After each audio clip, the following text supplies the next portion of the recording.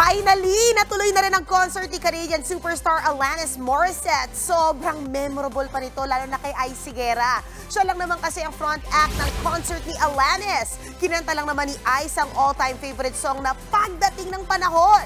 Siyempre, matapos ang main event, Alanis Morissette performance na. Still on cloud 9 naman daw si Ice matapos ang performance at makanood ng Jagged Little Pill concert. Mamaya po yung day 2 ng show. Tatlong beses kasi na-postpone ito no, kung matatandaan natin dahil nga sa pandemya. Pero at least natuloy na ang concert ni Alanis. Mga kapatid, Gretchen ho po, huwag maging huli at maging una sa lahat ng balitaan.